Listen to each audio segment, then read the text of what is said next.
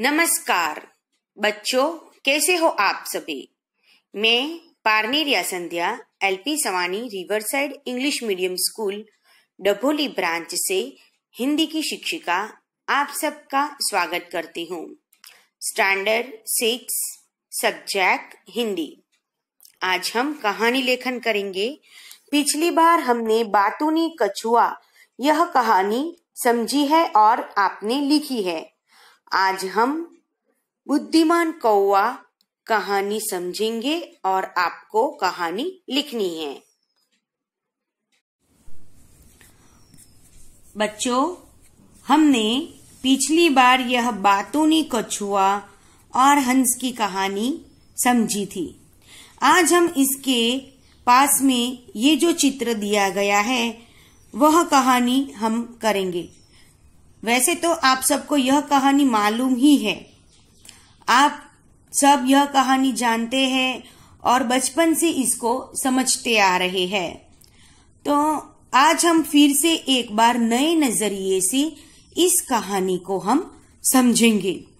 पहले आप इस कहानी में जो चित्र दिए गए हैं, उसको आपको ध्यान से देखना है।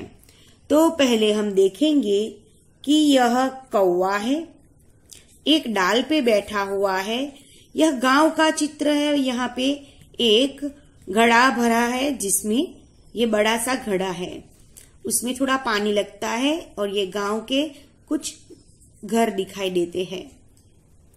उसके बाद में हमें यह चित्र दिखाई देता है। पानी इसमें कम है।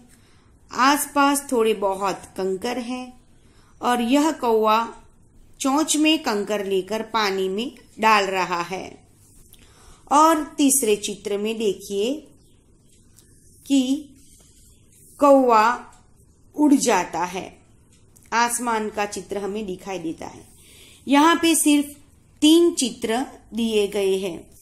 चलिए तो अब हम कहानी की शुरुआत करते हैं। यह देखकर हमें एक चित्र से, हमें एक चित्र को ध्यान में रखकर कम से कम हमें हमें चार पाँच वाक्य बनाने हैं। तो चलिए अब हम कहानी शुरू करते हैं। एक कौवा था। एक बार उसे खूब प्यास लगी। इसने उधर इधर उधर पानी की तलाश की। देखो बच्चों टीचर जो बोल रहे हैं, आप उसे ध्यान से सुनिए और समझिए। आप किसी भी तरह इस कहानी की शुरुआत कर सकते हैं। जैसे कि गर्मी के, गर्मी की मौसम थी। सब बहुत आकुल व्याकुल हो रहे थे। एक कौवा था, उसे बहुत प्यास लगी थी। इसलिए वह पानी खोजने के लिए इधर उधर जाने लगा। पानी की तलाश करने लगा, लेकिन उसे कहीं भी पानी नहीं मिला। फिर क्या होता है? अब हम दूसरे चित्र पर आते हैं। आखिर उड़ते उड़ते वह एक झोपड़ी के पास पहुँचा। हमें दूसरे चित्र में एक झोपड़ी दिखाई दे रही है। वहाँ एक बड़ा घड़ा दिखाई दिया। उसने उस झोपड़ी के पास मैदान में एक बड़ा पानी से भरा घड़ा दिखाई दिया, लेकिन उसमें पानी ज़्यादा नहीं है, कम है। घड़े में पानी बहुत कम था, यानी कि पानी बहुत नीचे था। उसमें कौए की चोंच नहीं जा रही थी, यानी कि पानी तक कौए की चोंच जा नहीं रही थी। इसलिए वह घड़े का पानी नहीं पी सकता था। ठीक है, फिर क्या होता है? हम देखेंगे, हम हम लिखेंगे कि कौवा आसपास देखता है और पानी ऊपर लाने का वह उपाय सोचने लगता है। वहाँ आसपास में थोड़े बहुत कंकर पड़े हुए थे। उसने एक एक कंकड़ घड़े में डालना शुरू किया। फिर क्या होता है? कंकड़ घड़े में डालने के कारण? कंक, कंकड़े से कंकड़ घड़े में डालने के कारण पानी घड़े के मुँह तक आ गया। कौवे ने घड़े का पानी पीकर अपनी प्यास बुझाई। उसने उसकी जो प्यास लगी थी उसे जो जोरों की प्यास कौवे को लगी थी तो कौवा पानी पीकर अपनी प्यास बुझाता है। वह जी भरकर पानी पीता है और तीसरे चित्र में देखिए कि वह खुश होकर आसमान में उड़ जाता है। इस तरह कौवे ने अपनी बुद्धिमत्ता से मुश्किली में, समस्या के समय में अपनी बुद्धि का उपयोग करके काम निकाला। अपनी तृषा, तृप्त की, यानी कि अपनी प्यास उसने बुझाई। बच्चों, इस कहानी से हमें क्या सीख मिलती है कि आपत्ति आने पर हमें धीरज रखनी चाहिए। जब हमें कोई मुश्किल आती है तो हमें नासीपास नहीं होना है, हमें दुखी नहीं होना है। लेकिन उस आपत्ति से निकलने का हमें हमेशा उपाय सोचना चाहिए। और उपाय सोचने के लिए हमें बहुत सारी धीरज भी रखनी चाहिए। और फिर, और कौए कौवा क्या करता है? अपनी बुद्धि का उपयोग करता है। तो इसी तरह हमें भी मुसीबत आने पर हमें हमारी बुद्धि का उपयोग करना चाहिए। इस चित्रपाठ में बुद्धिमानी से काम लेने वाला कौवा हमें यह सीख देता है कि हमें हमेशा धीरज रखनी चाहिए। और हमारी बुद्धि का उपयोग करना चाहिए। हम जब भी मुश्किली में धीरज से काम लेंगे, धैर्य से काम लेंगे, अपनी बुद्धि का उपयोग करेंगे तो हम किसी भी समस्या पर विजय पा सकते हैं। हम मुश्किली का हल निकाल सकते हैं। बच्चों, हमारी कहानी यहाँ पे समाप्त होती है। आपको यह कहानी तो आती ही है। लेकिन आपको अपने तरीके से अपने वाक्य बनाकर छोटे मोटे वाक्य बनाकर अपनी नोटबुक में लिखने हैं और यह कहानी पूर्ण करनी है। आपको अगर 10-20 वाक्यों में भी यह कहानी आप लिख सकते हैं तो आप लिखो। ठीक है बच्चों? बच्चों, हमें इस साल कहानी लेखन तो लिखनी, करना ही है। हमारे, हमारी पुस्तक में यह देखिए, पेज नंबर फोर।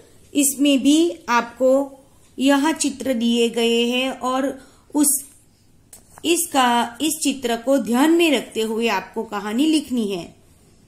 तो देखिए कि इस कहानी में हमें कितने चित्र दिए गए हैं। हमें छह चित्र दिए गए हैं और हमें इस कहानी को हमारे तरीके से लिखनी है। देखिए यहाँ, ये दूसरी कहानी है और इस कहानी का हम नाम क्या रखेंगे?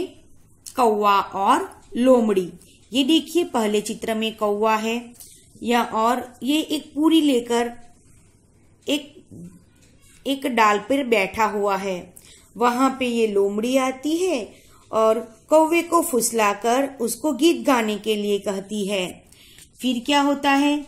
कौए की चोट से वह पूरी नीचे गिर जाती है और वह क्या? ये जो कौवा है, ये जो लोमड़ी है, वह पूरी खा जाती है। यह कहानी हमने हर बार सुनी है, लेकिन इस कहानी में ऐसा नहीं है। इस कहानी में यह बुद्धिमान कौवा है। हमें चित्र को पहले ध्यान से देखना है और फिर हमें इस कहानी को समझना है। चलो बच्चों तो अब हम कहानी शुरू करते हैं। एक बार एक कौवे को एक रोटी मिली या फिर पूरी, एक पूरी मिलती है। वह पूरी लेकर उड़ता हुआ एक पेड़ की डाल पर बैठ जाता है। है ना? देखिए, ये बैठ गया है। इतने में एक लोमड़ी पेड़ के नीचे आई। उसकी नज़र कौवे की पूरी पर पड़ जाती है। उसके मुँह में पानी आने लगता है। लोमड़ी को वह पूरी चाहिए और वह उसे खाना चाहती है। और उसने सोचा कि कौवे कौवे को मूर्ख बनाकर उसकी पूरी में ले ले ले लूँगी। फिर क्या होता है कि लोमड़ी ने कौवे से कहा कौवा भैया कौआ भैया, कोई गाना सुनाइए ना।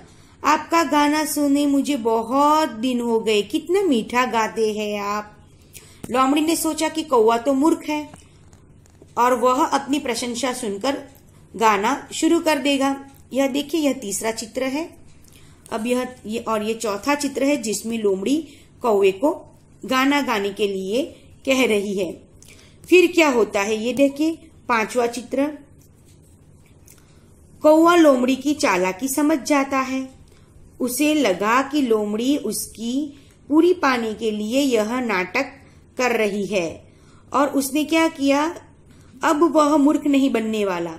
उसने अपनी चोंच से पूरी को अपने पंजे में पकड़ लेता है और फिर ज़ोर ज़ोर से वह काव काव काव गाने लगता है। फिर क्या होता है? ऐसा वह मन ही मन में बोली और अरे, ऐसा अब वह कौवा करने लगा, काव काव करने लगा। तब वह लोमड़ी निराश हो गई। वह देखकर लोमड़ी को आश्चर्य भी हुआ कि, अरे, यह कौवा तो समझदार लगता है कि हर, अब कौवा मूर्ख नहीं रहा। वह भी समझदार हो गया है। ऐसा मन में वह सोचती है और उसकी चालाकी नाकामयाब होकर हो जाती है, इसलिए वह निराश होकर चलने लगती है। फिर उस कौवे ने मज़े से अपनी पूरी खाई। सचमुच, अपनी झूठी बढ़ाई सुनकर हमें गुमराह नहीं होना चाहिए।